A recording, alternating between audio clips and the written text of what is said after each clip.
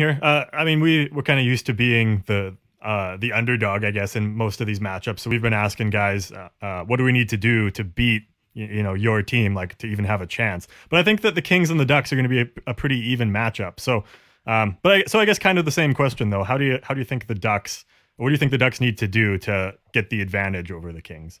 Well, I've been excited for a question like this because I was going to say this no matter what. You know why the Anaheim Ducks will lose on, to the LA Kings on Tuesday night? Because oh, no, we take ten shots a game. because because it's the debut of the reverse retros. Uh, the Kings are wearing those for the first time Tuesday night. That's why. I, I gotta say, those were top three in my list of the, the reverse retros.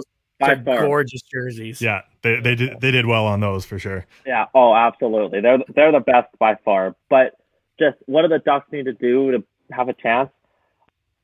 I use their use speed. I guess I don't know the Ducks speed. Like the Kings have speed as well, and I guess I guess I will say for the Ducks if they want to beat LA, take advantage of of the defense of the Kings because you lost two of your top defensemen on Tuesday night. I really think one's going to be out for sure. Probably both of them are going to be out.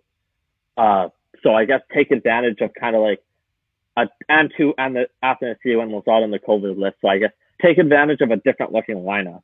I guess because it's going to be an adjustment for the Kings. Thank God, honestly, that they've had the four days off this early in the season because maybe Walker can be back on the defensive end up after getting hurt pretty badly on Thursday night. Roy is going to be out. Uh, Fiala got suspended for the hit on him, but it'll be. I would say if the Ducks want to win, they just have to take advantage of kind of a shorthanded King squad.